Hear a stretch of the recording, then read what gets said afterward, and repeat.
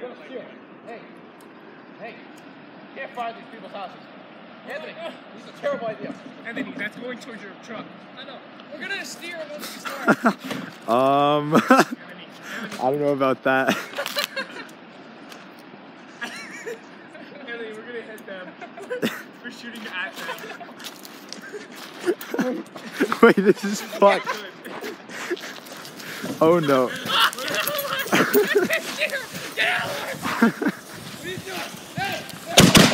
Oh, fuck.